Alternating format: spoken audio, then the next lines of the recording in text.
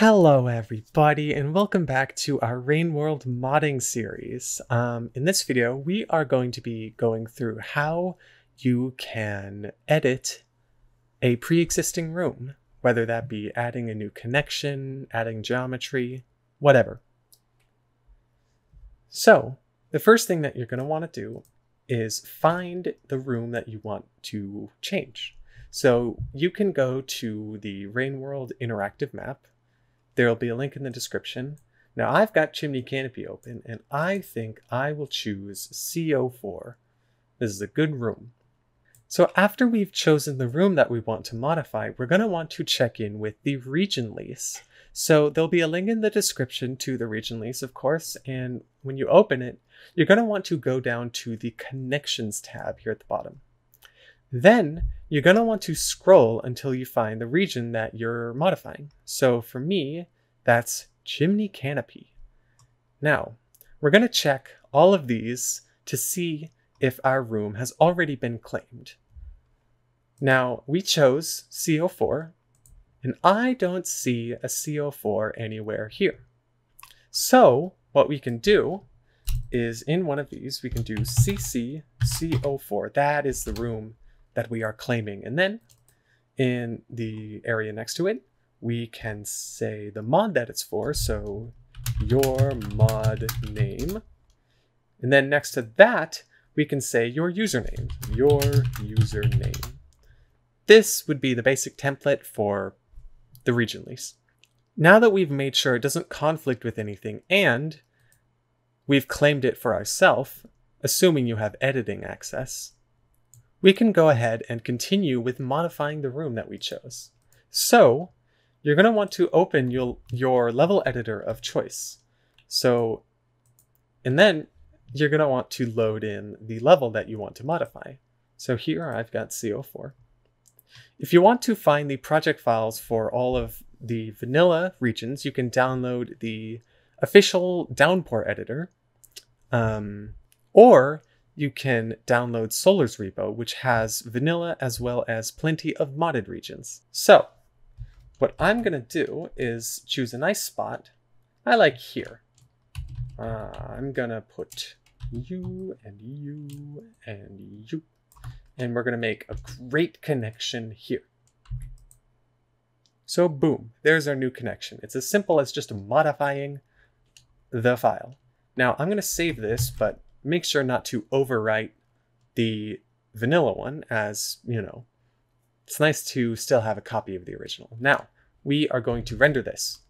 After you've rendered your room, you are going to want to copy over the rendered room. Then we are going to open up our mod folder again, and we're going to go into world and then cc-rooms or whatever region you're modifying. So for me, that's chimney canopy. And I'll paste those here. Next, what we're going to want to do is go into modify, world, CC, and open up world CC. Now, since we're modifying a room, when we put it in here, we need to make sure it still has all of the other connections to the rooms that it had before.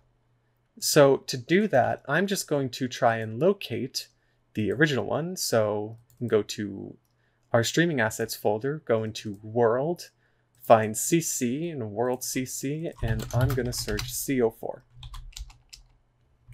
And look, there it is. So this is what vanilla does, and these are the rooms it connects to.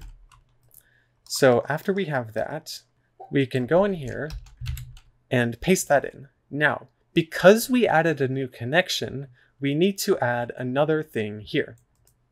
Now let's go really quickly scan to see where our new one would go. So let's see. Up here, here's the first one. Now I don't see any that are to the left or above it other than, well, the first one, which means this is the new second one. So what we can do is add just another entry just like that. Now, we actually already have a room. So what I'm going to do is just link these together.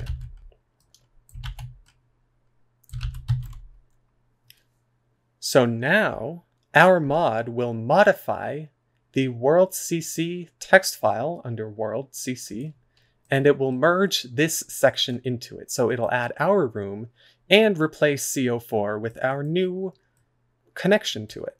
Then we can load up the game. So once we're in game, we can load up our uh, save, and then we can warp to the region that we want, and we can go to the region or the room that we've modified. So for me, that's CO4. And would you look at that? Is that a new connection I spot?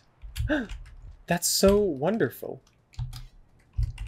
I must go see it.